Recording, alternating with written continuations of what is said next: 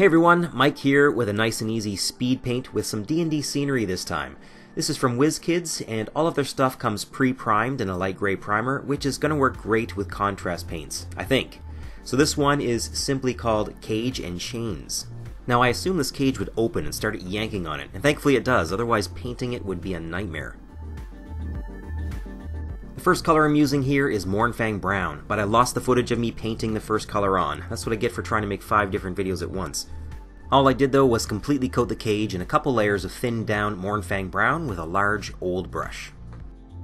Next I'm using a silver, this one is plate mail metal from Army Painter, and I'm lightly dry brushing this all over the cage, just to give a better impression that this cage is made from metal.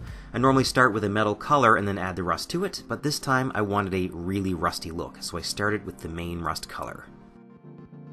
So you can see here I'm just lightly dry brushing this on in some places, then mashing the brush into the edges where rust might have chipped off.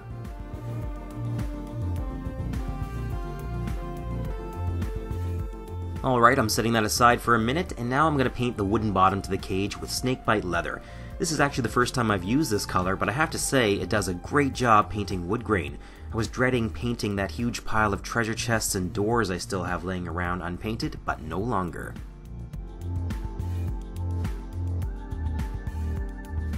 Next I'm switching to a few different washes. The first is Nuln Oil, and I'm using this all over the cage to create some more weathering and outline the rivets and where the bars meet.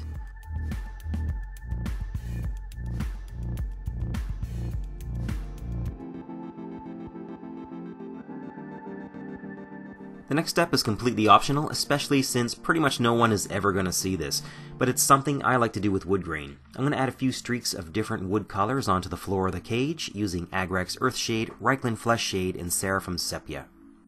This works better with a lighter shade of brown for your wood, but it still creates some color variation.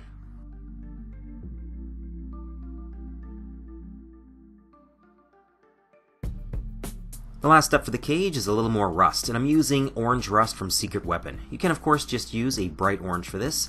I've watered this down quite a bit, and I'm splashing it around in random places.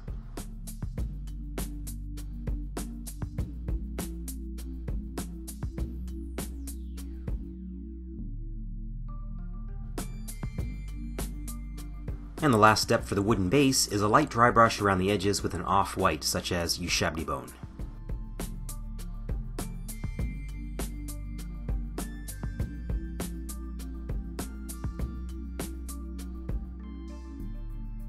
I'm painting the chains with just three colors. The first is Black Templar Contrast Paint, and I'm completely covering the chains with this.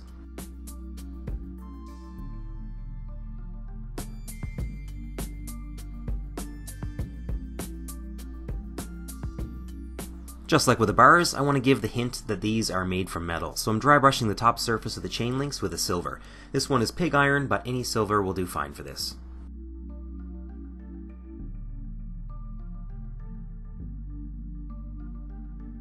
And finally, I'm using Agrax Earthshade to darken the recesses a bit and to add a bit of grime to the chains. And that's it, something quick and easy to add a bit of variety to your dungeons. Thanks to all my patrons, as always, and thank you to Brian Jones for sponsoring the channel. I hope you enjoyed this video, and thank you very much for watching.